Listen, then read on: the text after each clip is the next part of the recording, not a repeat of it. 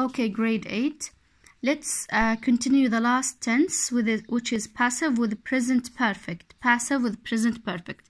First of all, let me remind you what is the rule of present perfect in the active sense. Oh, sorry, in the active voice. بيكون عندي subject has or have زائد verb 3.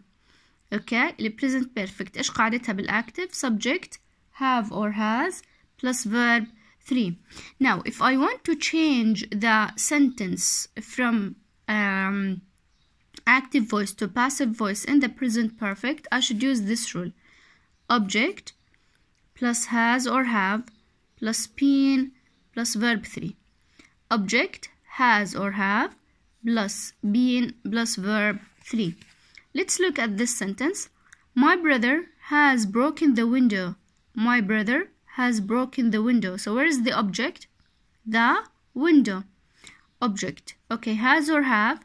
The object has. The object has. Okay, يعني the window has. And then the verb been.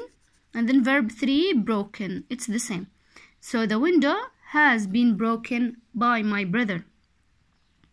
The window has been broken by my brother. لازم يكون عندي object has or have been you add been and then verb 3 طيب scientists have predicted many volcanoes scientists have predicted have زائد verb 3 many volcanoes بدي أحولها للباسيف I look for the object many volcanoes many volcanoes okay has or have have لأنها plural so many volcanoes have and then you add been and then verb 3 many volcanoes have been what predicted by scientists